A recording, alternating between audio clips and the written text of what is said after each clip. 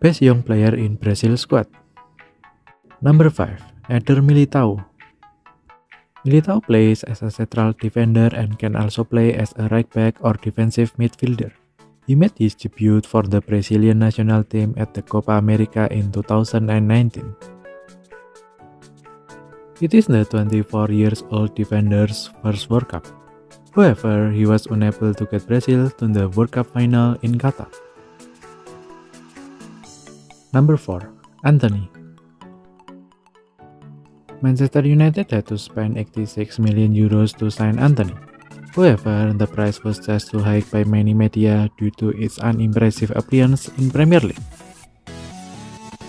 He has scored just 3 goals in 12 appearances this season. Hopefully, he'll able to show us his best game in the future and prove he's worth buying at a high price. Number 3. Gabriel Martinelli Martinelli is on the list of 26 Brazilian players for the 2022 World Cup. He is the one of the 9 attacking players that the Samba team has departed for Qatar. Martinelli's reputation cannot be separated from his impressive performance at Arsenal this season. The 21 years old winger has 7 goals and 2 assists in his 20 appearances. Number 2. Rodrygo an example of a talented young player in the current Brazilian team is Rodrigo. At the international level, Rodrigo made his senior debut on November 2019 against Argentina. Thanks to his skillful performance for Real Madrid, he was part of the Brazil at the World Cup in Qatar. He has scored 4 goals and 5 assists this season, and often been deciding factor in the team victories.